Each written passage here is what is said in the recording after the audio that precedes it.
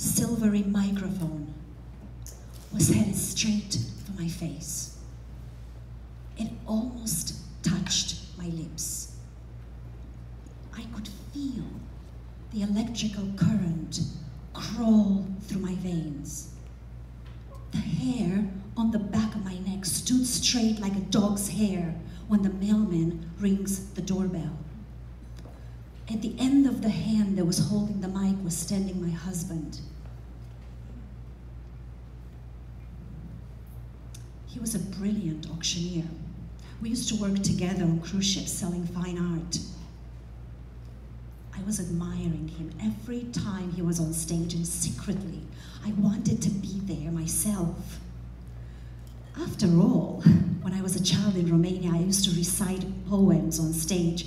I was even chosen to recite a poem at the airport and welcome the Romanian president when he came to visit our area. So I thought, why not? I can speak on stage. So that day, I tapped him on the shoulder while he was doing his mic check. And I said, honey, do you think that maybe one day I can do what you do? Do you think that maybe one day I can get up on stage and auction a few pieces of art? All he did was grab the mic, shove it in my face, and said, Go ahead, do it. I panicked. I ran. I ran. I found myself crumbled in tears on the bathroom floor. I was crumbled under the pressure of just being defeated by, I want, by what I wanted the most my dream to speak on stage. I looked at myself in the mirror. Who do you think you are? How dare you believe that you can speak in front of an American audience? How dare you imagine that your voice matters? This happened 18 years ago. My husband's intention at the time is irrelevant, and I can assure you that his heart was in the right place. Maybe he was just being a man, you know, hunters. You want to speak? Here. I'm still kind of learning about this whole masculine feminine energy thing. Maybe I just wanted him to go, Oh, honey, you wanted to speak on stage? Oh, that's great. Let's pick a few pieces of art. We'll talk about it. We learn in the cabin, and then I'll help you. You know, more of the gatherer type. But that's irrelevant. What matters is what I got stuck with that day the belief that I am not good enough, the, the belief that I will never speak on stage, the belief that my voice does not matter. That, together with a plethora of other limiting beliefs, have shackled me for years to come. And it took me a long time to start chiseling at the chains.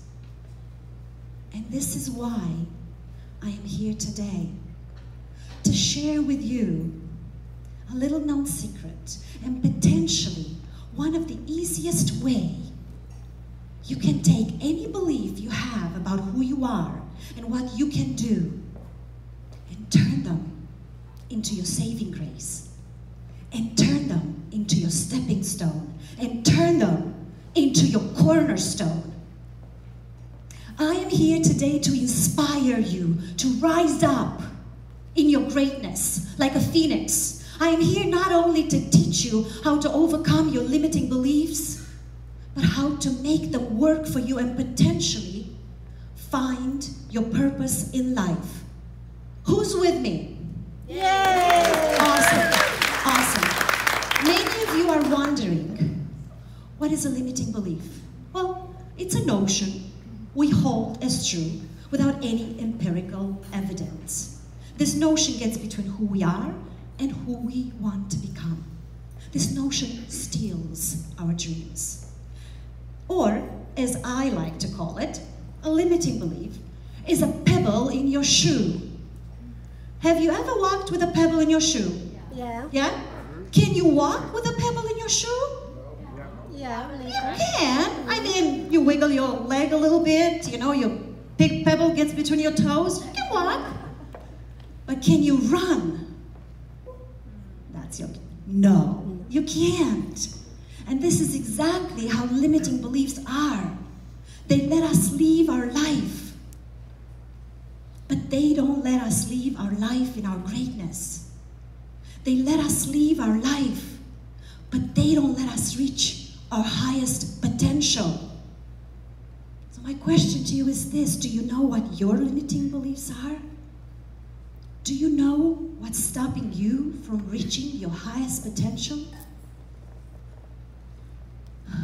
I came to this country 24 years ago with $20 in my pocket, $500 in debt, and a duffel bag full of dreams.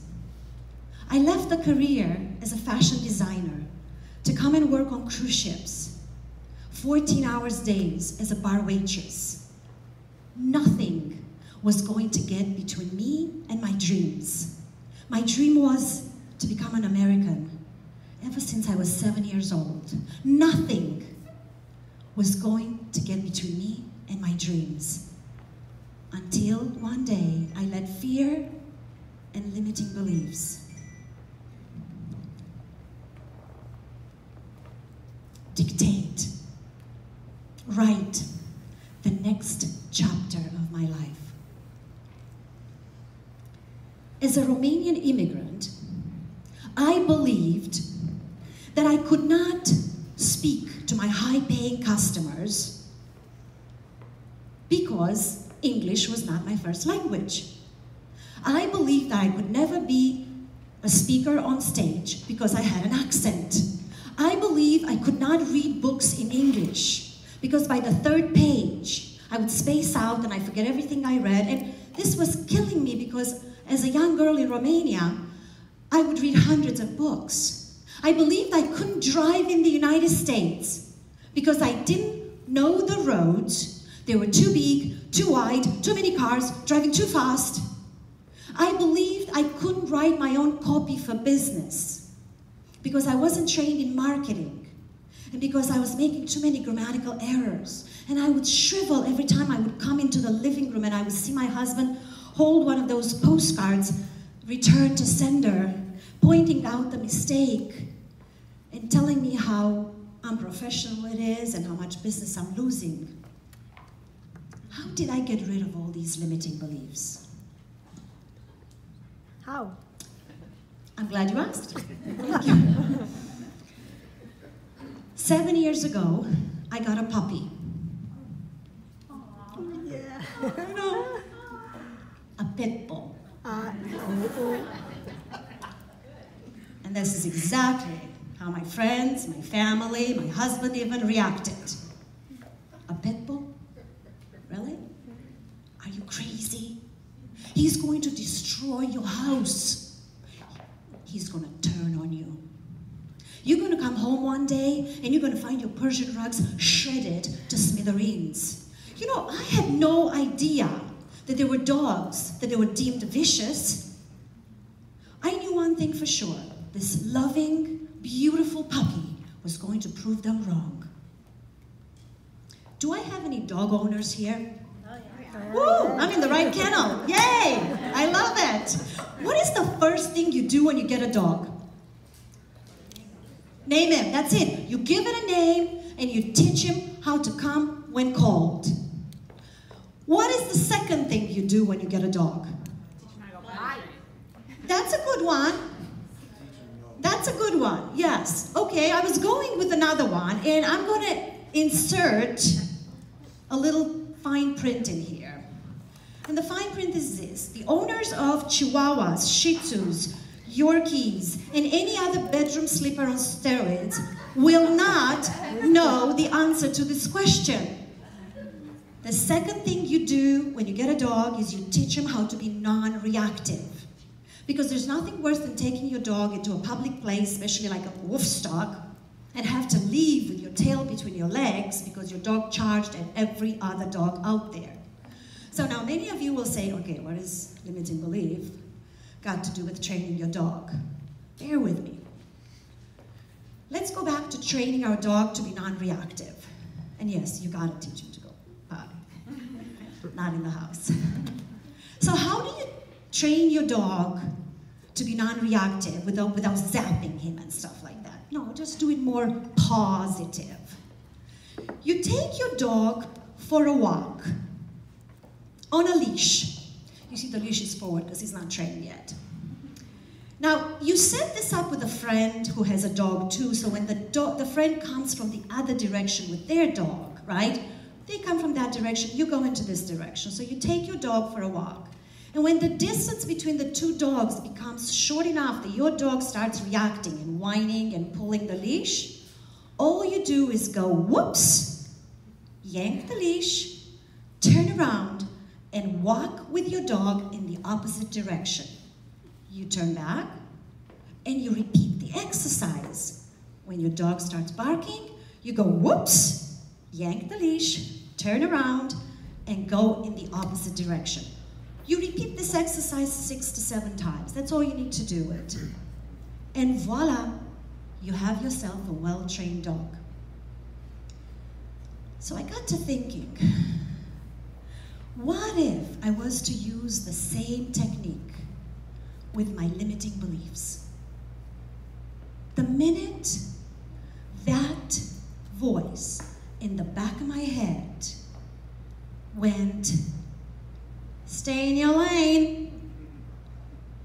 You can't do it. You're not good enough. You go, whoops, yank the leash, and take extreme action in the opposite direction. It worked. It worked. Our limiting beliefs tell us exactly what to do. Our limiting beliefs tell us exactly what direction we need to go in. I was afraid to speak to my high paying customers. Whoops! I hired Coach Carey, Coach Carey in 2015, and she helped me bring my business on top 3% of top producing brokerages in Naples. Voila. I was afraid to speak in public Whoops! I now record myself on my iPhone and post videos on Facebook and YouTube and Twitter and Instagram, inspirational videos that inspire people around the world. And I'm speaking in front of you here today. I was afraid to read books. Whoops! I discovered Audible. I read 60 to 70 books per year. I was afraid to drive. Whoops! I got a GPS. Yes. yes. I don't even have a warning on my record. I'm an excellent driver. Of course. I was afraid to write my own copy for business. I published my first book, Stand Out from the Crowd. It became a bestseller on Amazon. And I help people overcome their limiting beliefs and find their purpose in life. Now, let me tell you something. If you read my book, and I hope you do, it still has mistakes. Yeah. And that's okay. Because the idea is not to be perfect. The idea is to get something done because done is better than none. Yes. So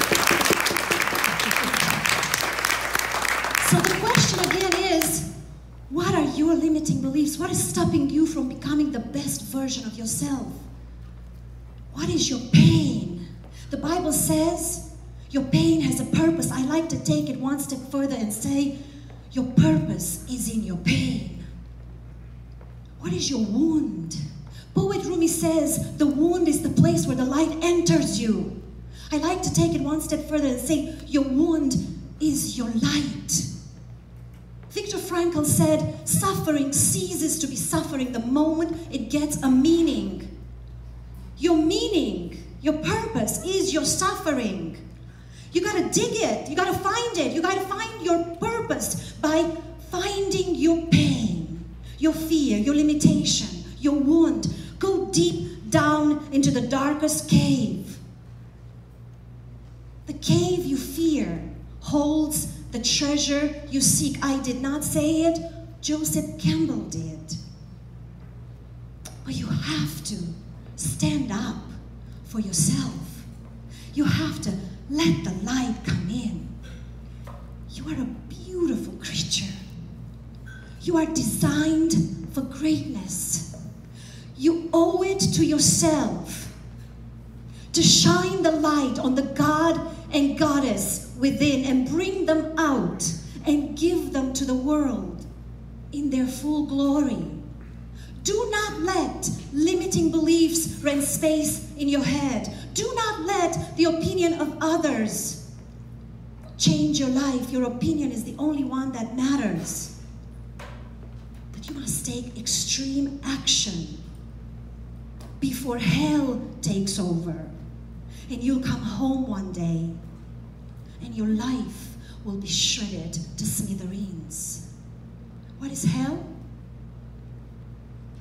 meeting the person you could have become on your last day on earth. Why wait till then? Let's do it now. Who do we want to be? You know, I'm going through a divorce.